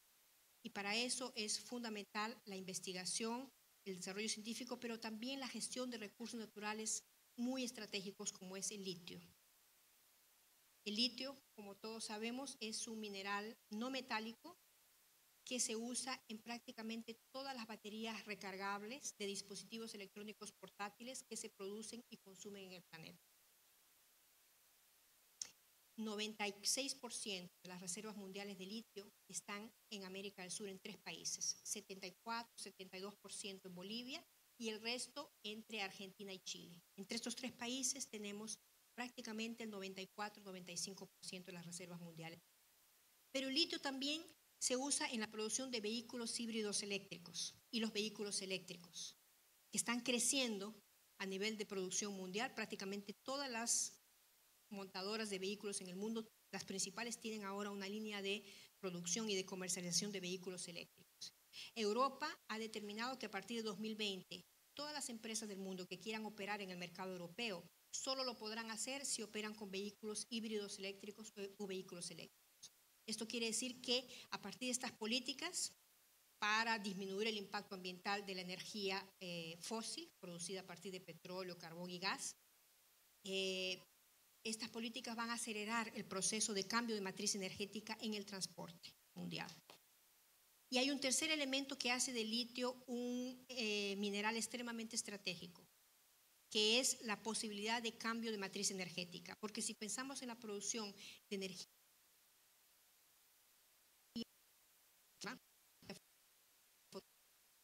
solo no, la energía hidroeléctrica, que hayan lluvias para alimentar los sistemas y las cuencas hídricas, la energía geotérmica, que es energía que se extrae de la temperatura de las aguas subterráneas, etcétera, la energía eólica de los vientos. Esta energía que depende eh, del clima tiene que pensar en grandes reservorios energéticos que sean capaces de alimentar los flujos continuos eh, de energía para sustentar la industria, las ciudades, el consumo eh, cotidiano, etcétera. Y esto solamente se puede hacer, y los europeos están liderando esta investigación, a partir de reservorios con litio, que permiten, eh, el litio es un mineral con una gran densidad energética, en poca unidad de peso reserva grandes unidades de energía. Entonces, dispositivos, baterías portátiles, eh, baterías recargables de dispositivos electrónicos, vehículos híbridos eléctricos y cambio de matriz energética hacen desde nuestro punto de vista, convierten al litio en un mineral extremadamente estratégico y este mineral encuentra sus principales reservas a nivel mundial en, eh, en América Latina y particularmente en América del Sur y principalmente en Bolivia, más del 70%. Entonces yo creo que estamos en la región frente a grandes desafíos que pasan necesariamente por una visión propia, soberana, de producción científica, lógica, de investigación y desarrollo, que pasan por la profundización de la colaboración científica internacional desde una perspectiva regional y desde una perspectiva de políticas nacionales. Y estamos en un momento de grandes transformaciones a nivel mundial que dan oportunidades nuevas a la región, pero que están siendo desaprovechadas. Porque en términos concretos hemos reprimarizado nuestras economías, nuestras exportaciones, en un momento, como lo decíamos, que podríamos estar actuando de manera diferente si lo hiciéramos regionalmente Creo que UNASUR, la Unión de Naciones Suramericanas, representó un momento importante en esta visión estratégica cuando propone una estrategia regional de aprovechamiento de los recursos naturales para el desarrollo integral de los países en el 2002. Es un debate que permeó mucho la política pública, la academia, los, eh, el debate entre los especialistas entre el 2012 y prácticamente inicio de 2015. Lamentablemente no tuvo consecuencias directas en la creación no solo del servicio geológico, pero de otras instancias de producción soberana de conocimiento. Pero creo que lo que nos queda es un desafío muy grande en este sentido y un desafío muy grande no solamente para recuperar la visión soberana de eh, ciencia, tecnología, innovación, pero también un desafío muy grande para incorporar la idea de complejidad a los paradigmas de producción científica a nivel mundial y particularmente en nuestra región. Estos desafíos seguramente van más allá de la academia, significa la sociedad civil organizada, significa los elaboradores de políticas públicas, pero necesariamente pasa por la academia. Por eso creo que las universidades son un espacio central, las universidades públicas gratuitas son un espacio fundamental para la formación de nuevos profesionales en estas áreas de las ciencias exactas y las ciencias sociales y las comunidades, pero también de la investigación y del desarrollo.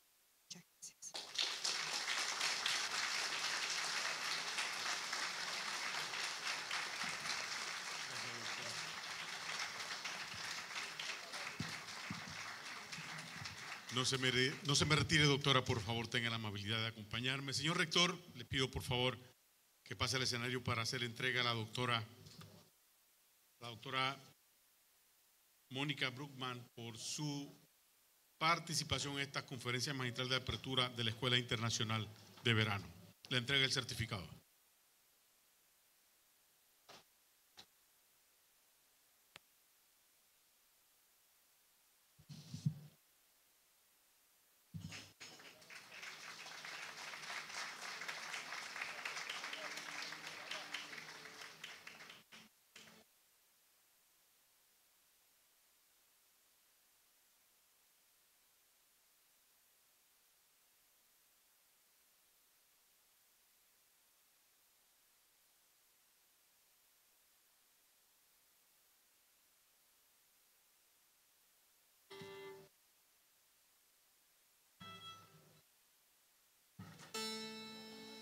Está con nosotros la orquesta de cámara de nuestra institución. Tendrá la participación con dos piezas musicales, dirigida por el magíster Renzo Sánchez, quien es su director. La primera pieza musical pastoral del concierto octavo de Arcángelo Corelli y la segunda cumbia y congo de las danzas de Panamá de William Grant Steele. Maestro.